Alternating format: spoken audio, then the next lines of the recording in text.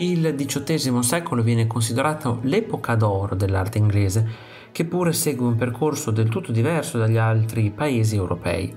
All'inizio del secolo si affaccia la prima personalità inglese di assoluta originalità pittorica, William Hogarth, autore del più importante trattato di estetica del Settecento inglese, la Analysis of Beauty del 1753. Per la storia del ritratto questo libro ha un'importanza capitale. Hogarth propone una serie di distorsioni di evoluzioni che portano dal profilo dell'Apollo di Belvedere fino a un pupazzetto scarabocchiato da un bambino. Nel Poeta afflitto l'ambientazione ritrae una squallida stanza dai muri scrostati, divisa dal resto di un più esteso sottotetto per mezzo di un tramezzo in tavole di legno. Sullo sfondo campeggia un vecchio camino, costruito secondo un modello all'epoca già in disuso, a causa della bocca troppo grande per assicurare il giusto calore. Normalmente è acceso per riscaldare l'ambiente umido e asciugare gli indumenti intimi appesi ad una corda, come mutande e polsini di pizzo.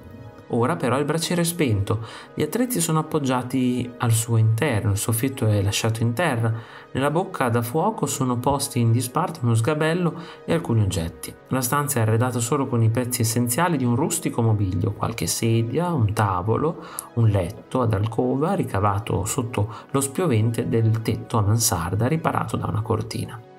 Ci dorme l'intera famiglia padre, madre e un pargoletto che ora piange perché ha fame, ma le condizioni di miseria non consentono di provvedere.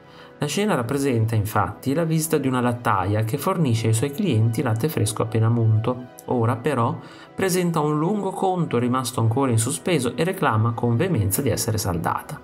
Sul lato opposto il capofamiglia è del tutto disinteressato e non dà ascolto alle proteste sicché l'unica a dover affrontare la creditrice, furente, è la moglie, al centro della stanza, che non sa cosa rispondere.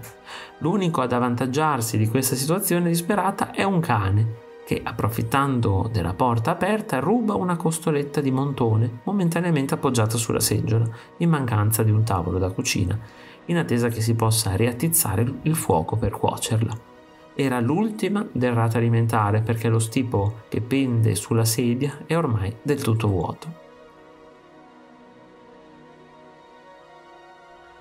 Se ti è piaciuto il video iscriviti al canale, lascia like e condividilo con i tuoi amici.